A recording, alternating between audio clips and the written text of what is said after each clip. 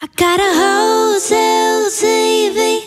Ain't nobody here to watch me.